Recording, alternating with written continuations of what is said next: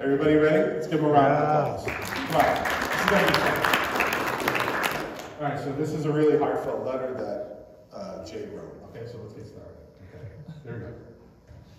Ins- Here, insert your name. No, now.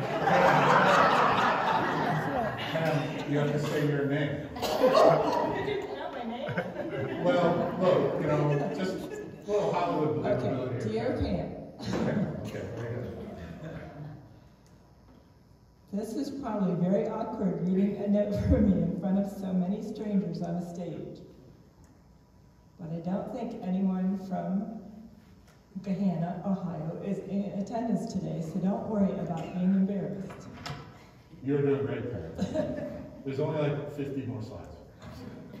Me, or as you know me, Jay, wrote this letter to you last night at Jim's request. First off, Pam, have I told you how beautiful you are lately? That's very nice, Jay. If I forget to do so, I'm sorry. I mean to do it every day, I really do. Sometimes, however, I lose sight of how amazingly lucky I am that a wonderful and truly beautiful person like yourself has actually chosen to be with, control. That's, you know, Jay, I, I didn't have to go there. I appreciate the authenticity. Next slide, please. In case you didn't know, I may not show it every day, but when I do think about it, I'm in complete awe that you chose me and have stuck with me for so many of your prime years when you could have done so much better than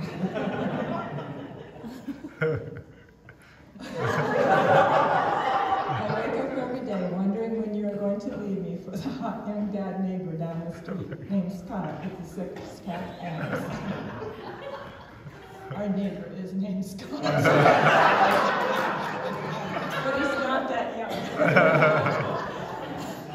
By the way, darling, confession time. I hate Scott. Sometimes I catch you looking at Scott doing his shirtless yard work, and I say to myself, so, do you think if I buried Scott into that pile of mulch in his yard that they would find him eventually? I wonder specifically if it'd be easier to sneak up behind Scott with a chainsaw or probably just try to behead him with the hedge. Jay, this is giving a lot of away. This is all fun. Thanks. It's a debate I keep having for sure, of which I cannot decide what to do. But hey, don't freak out, honey. I'm not really going to murder Scott. I mean, by all means, keep looking if you want. But if one day Scott disappears and I come home covered in mulch and I'm all sweaty, I just want you to know that because you're my wife and we're legally married, you cannot testify me against me in court. So even if I did murder Scott, you would probably not be the key witness in putting me in prison for the rest of my life. So again, keep staring at Scott, it's cool. Our children can visit me in prison, it's fine. Let's get back to you, darling. That's you, Pam. That's me. Pam, I'm serious about many things in my life. The first is making sure you know you are loved and taken care of. The second is that our children are loved and taken care of.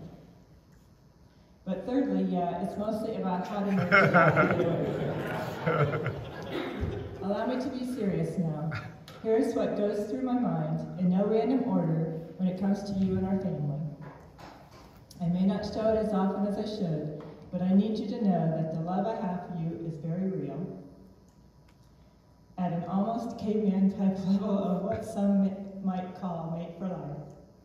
My loyalty to you goes beyond the surface day to day stuff. In fact, you would never realize this because I don't know how to express it. But I spend my life trying to make you happy. That's. That's my goal in life to give you the life you want, to make you smile. That's my only job. You are my everything. I'm here with you tonight because I want to be here. I want to spend time with you. I look forward to this. I was excited about this time with you. You are the most beautiful person in the world to me. That's the honest truth. So that's my letter, Pam. I love you. P.S. If you marry Scott after I die, he will never replace me as our children's natural father. Just say. Give him a round of applause.